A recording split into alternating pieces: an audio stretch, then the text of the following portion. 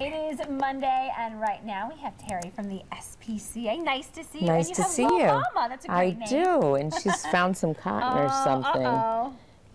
Get out of there. It's a cat toy. Oh, okay. weekend segment.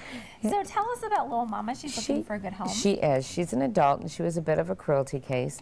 She um, had babies a couple months ago, so I think that's where she got her Oh, name. When she came in, uh, that's what we ended up starting to call her. Uh, she is the sweetest girl ever. She loves to be on your lap. She's a snuggler, curious. Look at that face. I know she really has a great temperament because She we get to see the animals. You're here for about 15 minutes. That's right. Before this segment, and she has just been just quiet and just so sweet and adorable. She was watching you guys really intently. All the dogs do that. They, they stare at you to see what's going on. and themselves, Yes. she can see herself in the monitor there. And if people want to adopt a pet, you actually have the reduced fees right now. We do because we are over um, booked, I should say. I mean, we got like 200 cats and 85 dogs, horses, rats, you know, rabbits.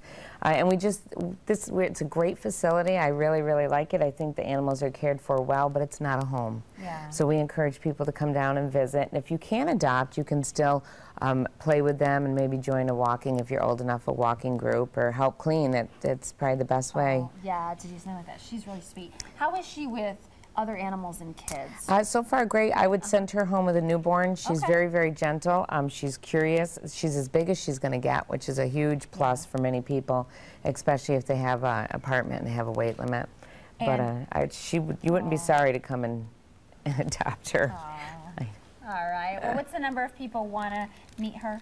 You can call 454 4479 or go right on our website at www.cnyspca.org.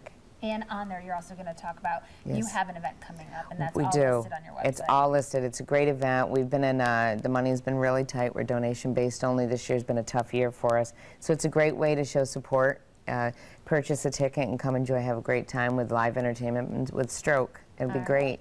Go to the website.